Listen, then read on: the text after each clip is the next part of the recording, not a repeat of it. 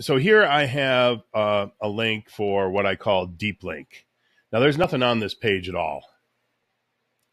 But in the preview here, it's going to show as my login page. If we let the preview run here real quick, see now it's showing as my login page. And the reason why is because I have it, what I'm telling it to do is to redirect to that page instantly. Now, there's two different ways of doing it. I'm going to show you the easy way to do it. Uh, it's I don't think it's as good necessarily, but it's the easy way without having to get into a bunch of code.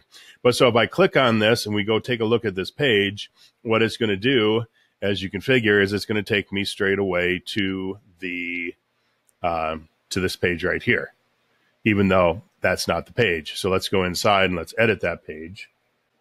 Okay, so like I said, this is the fancy way, and I'll show you real quick here the uh, the other way. So I do two things. One here is this box here will pop up on somebody's screen after five seconds. So if it has not redirected after five seconds, this will pop up, and in here it has the link to the members access page. Actually, I should really have that to the secret sign up URL. So I really need to change that. Um, but I also have in here in the tracking code in the header tracking code, I have all of this, which is what it says. I mean, first off, it says if somebody's not running scripts, that they should refresh the page and go to here, which is the secret sign up URL. So let me. So what it says is if somebody's not running scripts, meaning they have JavaScript turned off for some reason, then use this type of script. If not, we want to use this type of script right here. This down here is for something else. Um, but again, so it sets a timeout function, and after half a second, because you want the page to load first before you do the redirect, or it's not going to work.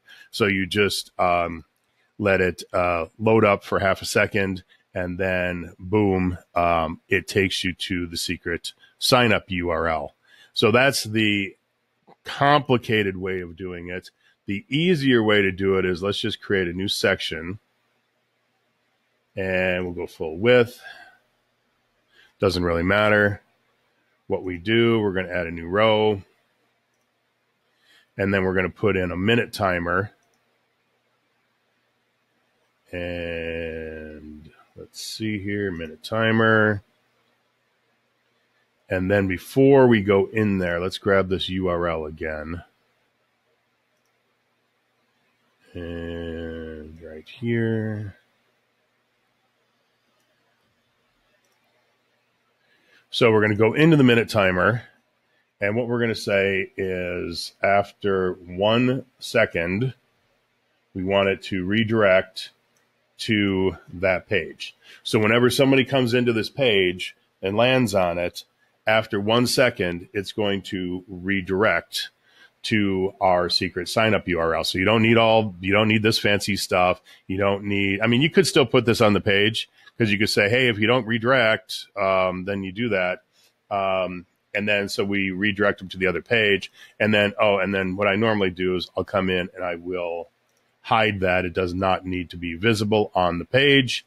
So again, like I said, you can do this up here. Uh, just put in a link so that if after five seconds, and again, let me see here, I should have a five second delay on this.